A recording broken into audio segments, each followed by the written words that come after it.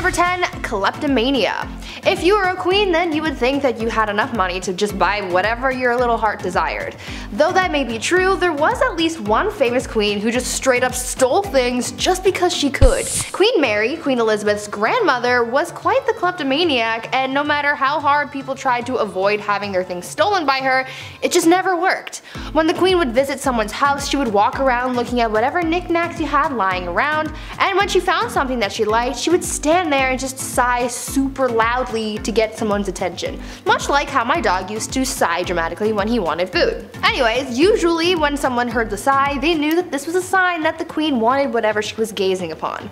Sometimes the homeowner would just give whatever it was to the queen as a gift, gift. But if it was something that they weren't willing to part with, then she would either try to buy it off them or just straight up take it when no one was looking. This became such a big problem that people started hiding their prized possessions before hosting the queen in their home, but she eventually caught on to this strategy, so she just started showing up uninvited. She could not rest until she owned pretty much everything in the kingdom. Number 9. No time to dine. If I'm eating, don't acknowledge me as a human being. I sound like a pug when I eat, okay? I don't waste any time. I love food, okay? It's business. Now, if you're a queen and you eat fast, well, everybody else has to eat fast as well. This began back in Queen Victoria's time. The queen loved to feast and she didn't waste any time at all. Like, it's really fast. The way the royal family works is that when the queen is done, that course or that meal, you're also done. So when Queen Victoria would smash an entire 7 course meal in 30 minutes, which apparently she could do easily, you'd be blowing on your soup still and Queen Victoria would already be telling everybody to pack it up. That's stressful. All because she could eat lots of food in a short amount of time. Also, once the queen gave a toast, you couldn't even speak. Also, once the queen placed her cutlery on the table, regardless of where you were during that course, everybody's plate would then be taken away at the same time. And the next one would then come in. I would just put my food in my pockets, you know, screw it. It's almost like when you go to all you can eat sushi and you have like some sushi left over, you don't want to waste it. You're like, you know what? I'm not paying that bill. At number 8, cross-dressing. Empress Elizabeth was quite the character, I guess you could say. Since she was a monarch, she could do whatever she wanted, and that is exactly what she did. You see, she was quite into fashion, more specifically men's fashion. The Empress believed that she just had legs for days, like Naomi Campbell, and she wanted to show them off to the world, but the only problem with that was the fact that back then, pants were reserved for men, and so since she wore dresses all the time, no one got to see her godly legs. Well, to combat that, Elizabeth came up with a solution. She was known to hold huge parties where everyone had to cross-dress. She only did this so that it would give her an excuse to wear pants. And I mean, she could have if she just wanted to wear them on a regular day, but she didn't want to be the only woman in men's clothing, so she made everyone else dress up too. At these parties, no one looked good or really enjoyed themselves for that matter. Women complained that the men's clothing they wore to these parties were unflattering, and the men were just all over the place because they didn't know how to maneuver a hoop skirt. The only person really having a fun time was Empress Elizabeth, but I guess that was really the whole point. Number 7. Check on the dead. Funerals are pretty expensive, especially a royal one at that. It takes a lot of power to dig up and then carry these massive caskets around, which back in the day was even more exhausting.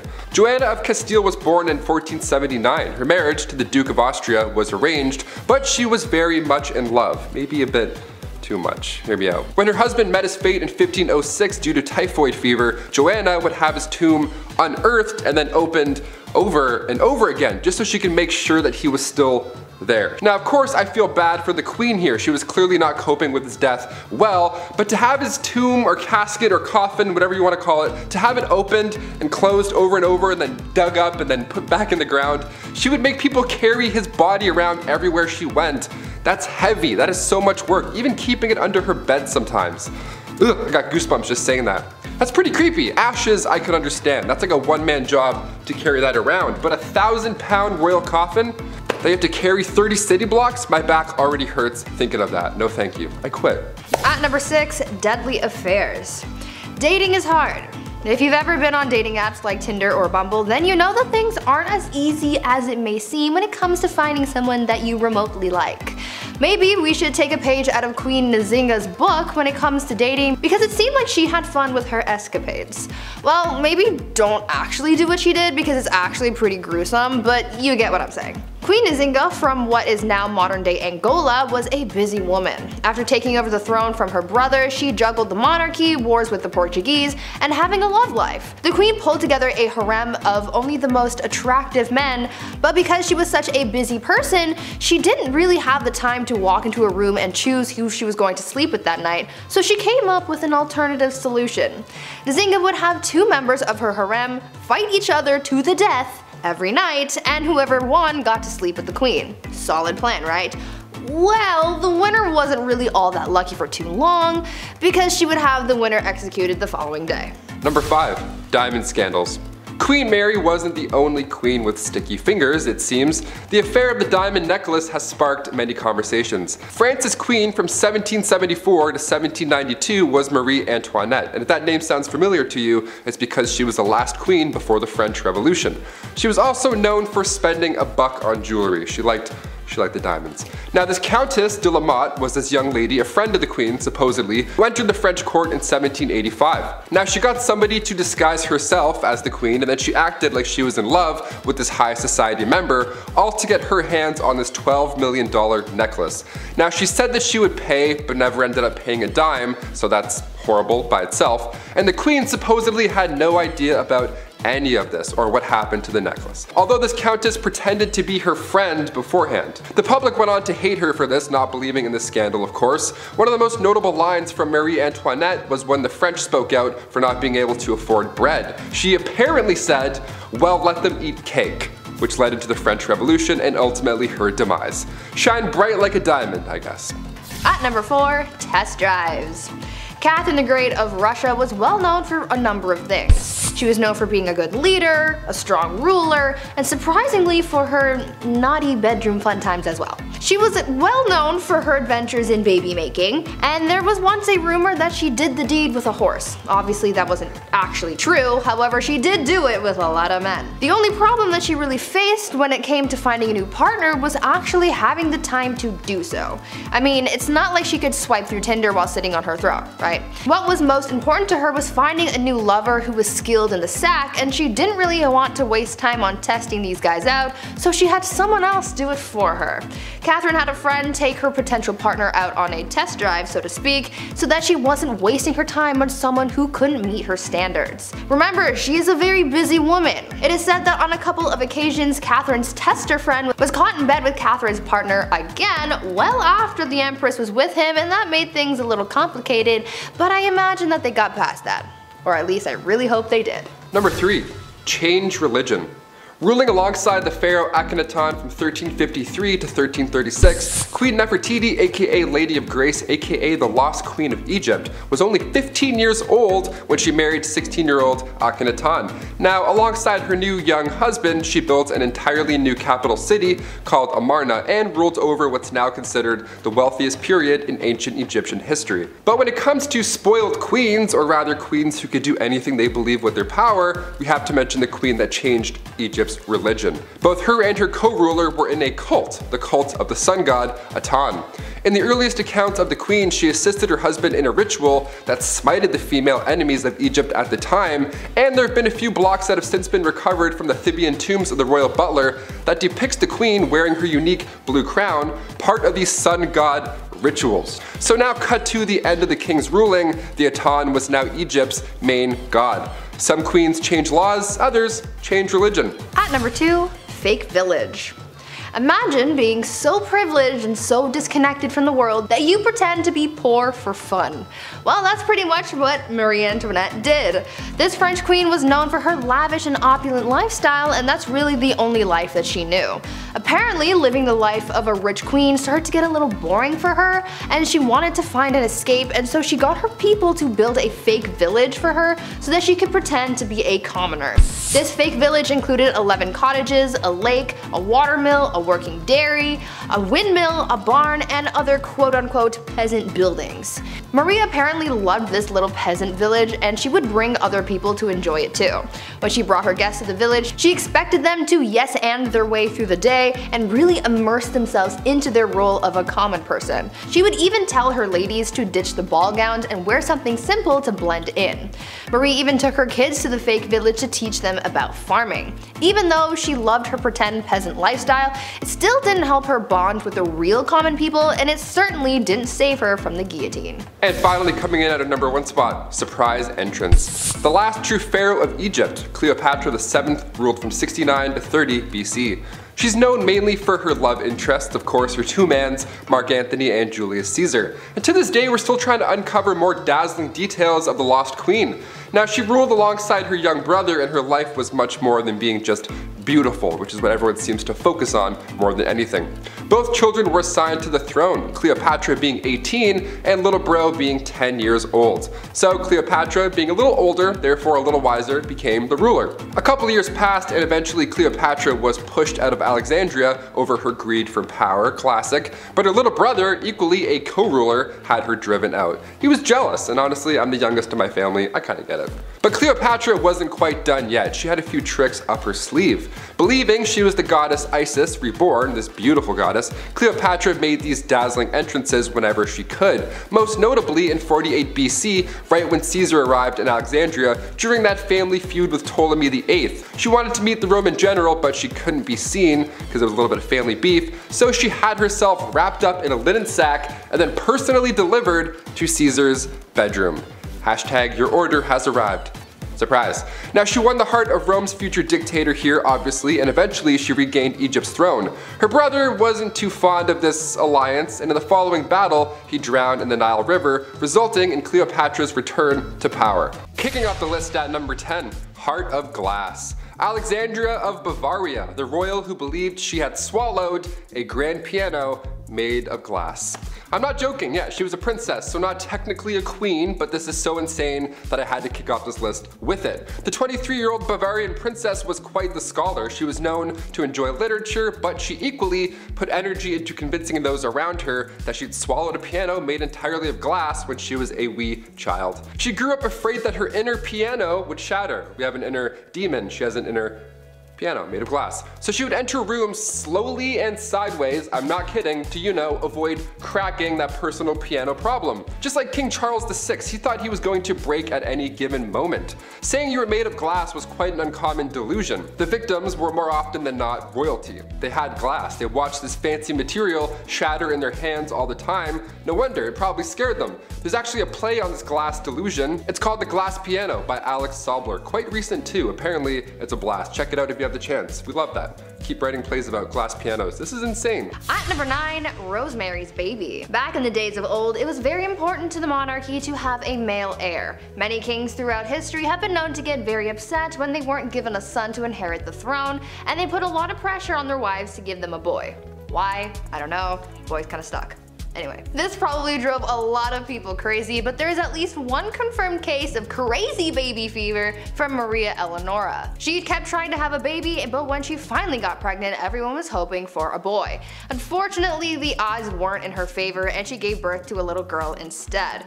People knew that Maria would get absolutely triggered upon learning of her baby's gender, so they kept it a secret from her as long as they could, but eventually they had to tell her and Maria was pissed. She really went looking for that receipt to return that baby and get a refund or at least a store credit. When she found out the baby was a girl, the queen reacted by saying quote, Instead of a son, I am given a daughter, dark and ugly with a great nose and black eyes. Take her from me, I will not have such a monster. End quote.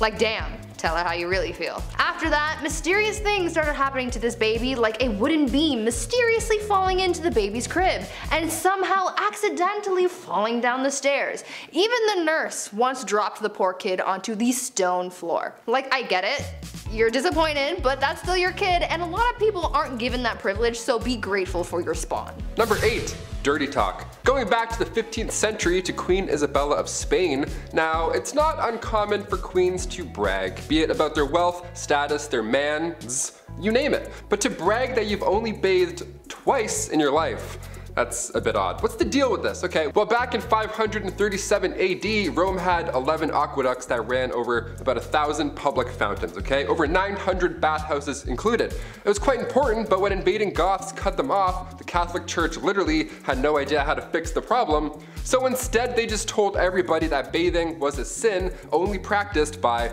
pagans. So at one point in history, you could have ran a bath, thrown in a bath bomb, relaxed for an hour, got out, and then immediately you're a sinner. Worst of the worst too, how dare you, having a bath on Monday afternoon, you monster, you pagan monster. The Old Spice guy would have rocked their world. At number 7, Mother Knows Best. I think after hearing about these queens who've done some dark things to get their way, you would think that it's safe to say you don't mess with a woman and her plight for power.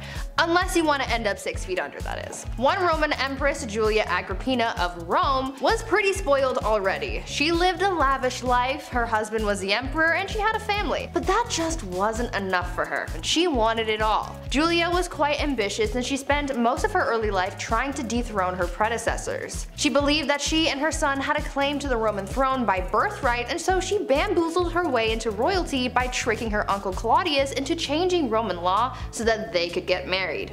Ew. Suddenly though, after they got married and she became empress, Claudius died and most people think that Julia had something to do with it. That's likely the case. She and her son Nero went on to rule Rome from 49 to 54 CE.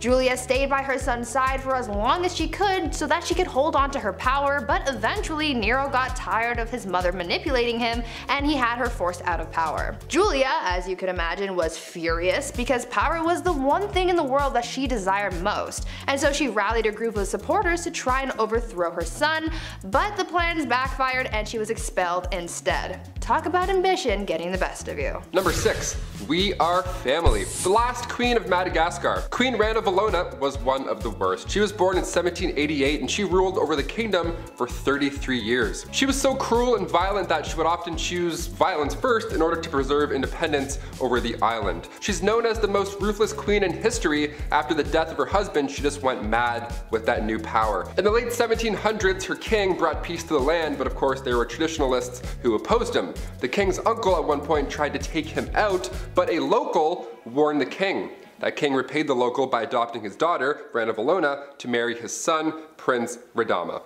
Now, when her prince was alive, they didn't get along at all. And then come 1810, the king passed away, giving Ranilova the promotion of a lifetime.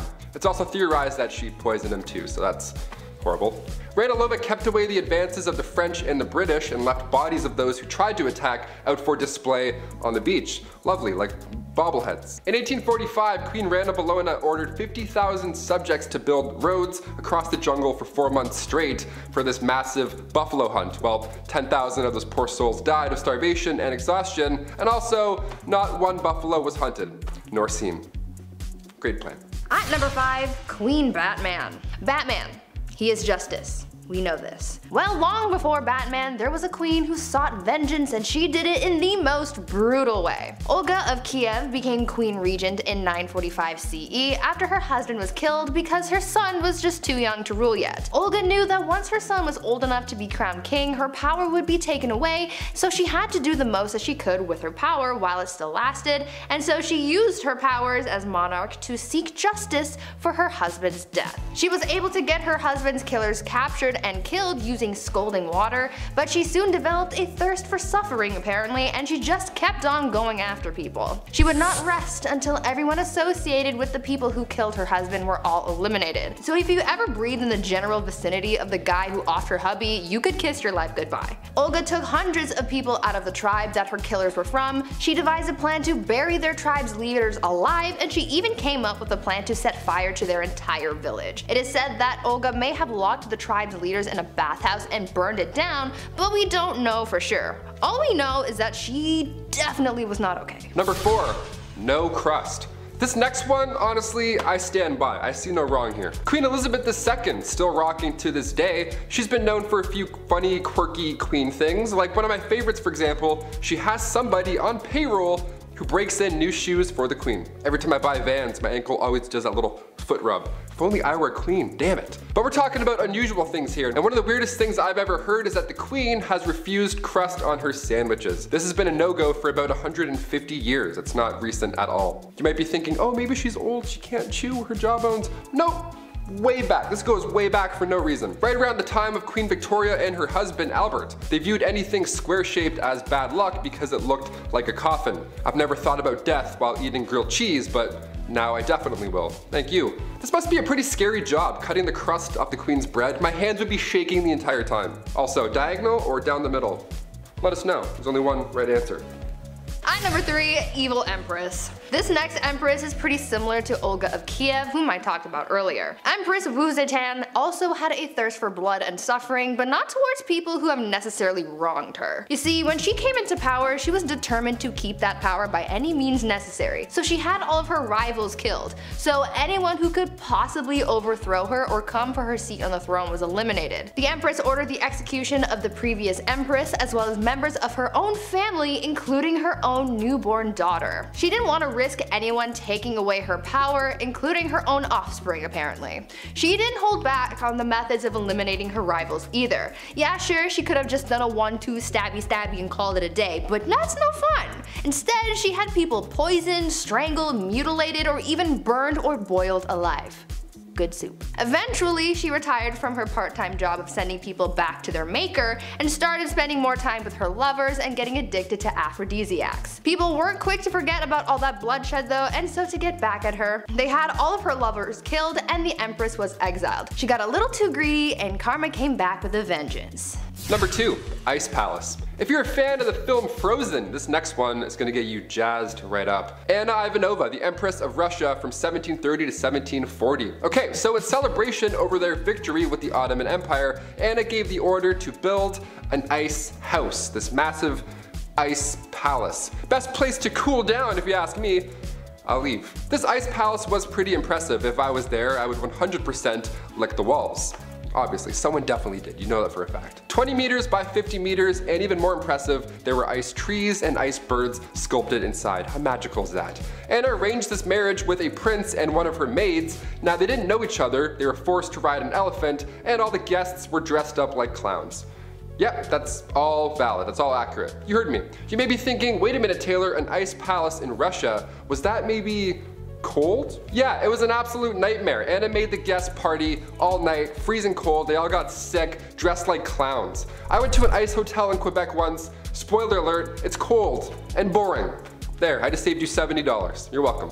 And finally at number one, Gladiator Games and Chill. If you didn't ever have to go to work and you could just lounge around all day, what would you do with your time? Really, anything could be possible. You could be like the Bruno Mars lazy song. Well, there's one empress from back in ancient Rome who occupied her time with the company of others. Apparently, Empress Valeria Messalina was famous for her exploits. Since she was empress and she had all this time and money and no one to tell her no, she took full advantage of that and bought a house, turned it into a brothel, and made that her side hustle. A lot like Littlefinger from Game of Thrones. Though she had a collection of women who worked there, she also was known to invite upper class ladies to participate in the nightly escapades as well. And don't think that Valeria did jump in as well. She was considered to be quite something in the sack.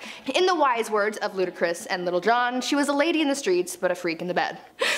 The Empress was known to be such a hardcore participant that she would win games where they would compete to sleep with the most men in one night. One time she won the round after being with 25 men one night. She did the absolute most, but at least she was having fun. Number 10, blinded by ambition. I don't know about you, but I think my favorite part of these queens list is learning about all the wild and crazy things that queens did to keep or acquire power back in the days of old. Like these gals were absolutely ruthless and they weren't afraid to absolutely body anyone who stood in their way. We've heard about queens taking out enemy tribes, their husbands, and even their own family members. This all sounds like a round of Call of Duty when you're you're the last one on your team and you're just murking everyone in sight trying to save your own skin. Let's talk about a queen, or rather empress, who was so desperate for power that she ended up killing her own son. Irene of Athens was an empress from the Byzantine Empire who ruled from 797 to 802 CE. She started her reign as co-ruler alongside her son Emperor Constantine IV. Though it started as a good old family business, you know, saving people,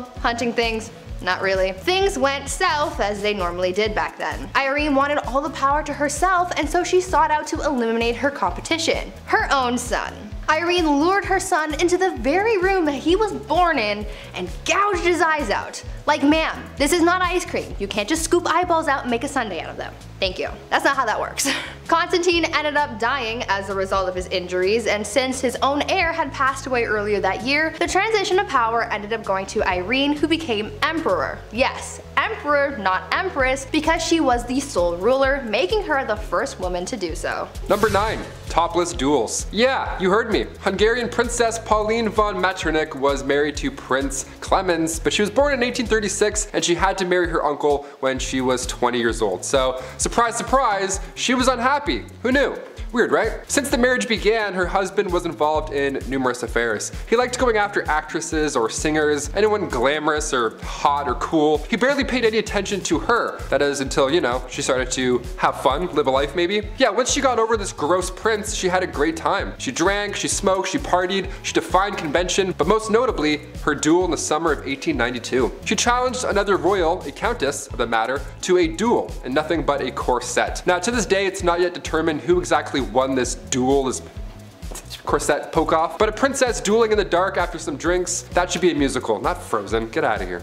At number 8, no side bays. A bad relationship can really mess you up. Anyone who's been through a bad breakup can tell you that. Not as many people carried that pain with them as much as Catherine de Medici did back in the day. Her didn't even begin to describe how she felt and she really embodied the pain that she was feeling after having her heart broken. She basically turned into the type of person that was like, if I'm not happy, no one else is gonna be happy either. Catherine's husband Henry II of France had a mistress and Catherine was well aware of it. They had been having an affair for basically the whole time Catherine was married to Henry and he loved his mistress more than he ever loved his wife. When Henry was on his deathbed his final request was to see his mistress one last time and as a final FU to her husband not only did she deny the mistress from visiting Henry but she literally made him die alone with no one by his side when he kicked the bucket. On top of this hatred towards her husband though, Catherine was also an absolute B-word to her daughter as well. Catherine would fight her daughter over her romantic affairs. I guess she didn't want her daughter to be like her father. Either way, Catherine got so mad about one of her daughter's affairs that when she found out about her lover, she locked her daughter away in a castle and never saw her again. Talk about a serious grudge. Number 7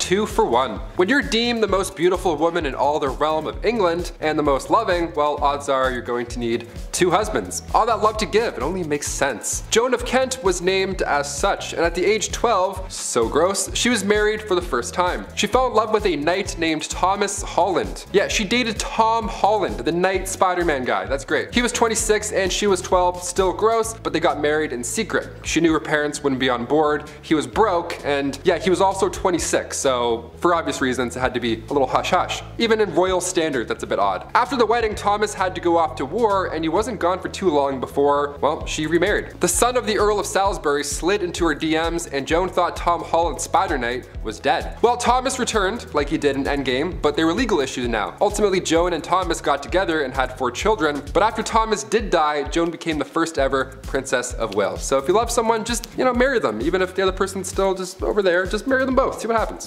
At number 6, Apple of His Eye. I feel like this queen I'm about to tell you about needs to have her own movie made about her or something because the things she did for power were almost unbelievable. I would say that I would want to be her when I grow up, but she's kind of responsible for the deaths of a lot of people, and that's not really something I'm striving for, you know? But she did have a lot of determination. I will give her that. Isabella was married to King Edward II of England, and though she was quite the catch, Isabella wasn't really all that jazzed about him. She was like, meh, I guess I'll be your wife, even though back then she really wouldn't have a choice in the matter anyway. Anyways, after 10 years of marriage and the birth of an heir, things seemed to be relatively okay between the king and queen. That is until the king started getting all buddy-buddy with his friend Hugh Despenser, who was a much hated noble. Very hated. Hated numero uno. Isabella didn't like the bromance that was forming and she was like, uh, no, the only person who gets the king's attention is me. So she rallied the support of the other nobles, banished the Despenser family, burned their castles to the ground, claimed their possessions, and killed anyone who supported the disgraced family. After all of that went down, she took refuge in the Tower of London, where she met a prisoner whom she smuggled to France. Then she got her husband to bring their son to France. And from there, with the support of the nobles and the common people, she was able to defeat her husband and the Despensers, and became Queen Regent until her son Edward III came of age to become king. After all of that, she finally got her way. I hope she slept well that night because she did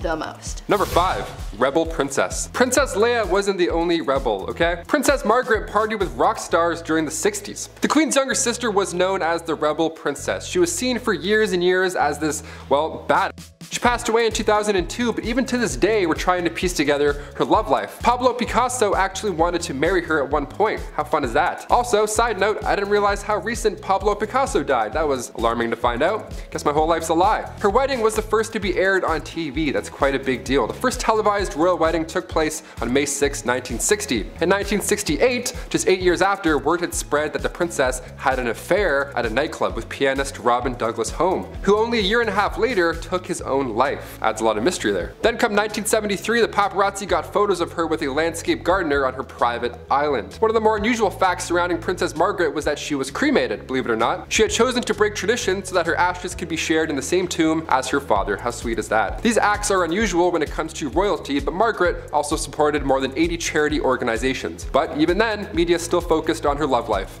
Classic. Keep it up. At number 4, Warrior Queen. Let's talk about Queen Rani Lakshmi Bai and how she became known as India's Joan of Arc. Rani was a fighter her whole life. She was raised to be a warrior and was taught how to fight. She even shared her skills with other women teaching them the same fighting skills at a young age. She was married off to a much older man and she had a child but she lost them both pretty early on. In need of an heir, she adopted a son and served as Queen Regent, but soon a growing conflict started causing a lot of tension between the British East Indian Company and her people. The young queen, at just 22 years old, wanted to drive British forces out of her land, and so she organized a revolt that turned bloody very quickly. She ordered the execution of literally every British person in the region. So Bobby from down the street, dead. Mary from around the block, goner. Freddie and Harriet, the kids of that guy that you know who bought shoes off your brother, bye bye gone. Rani killed every man, woman, and child in the area. But it still wasn't enough to win against the British. The queen died on the battlefield and the British ended up winning the battle and the kingdom fell to the enemy forces. This queen was one of the bravest and most determined women in history and she's still remembered as a hero.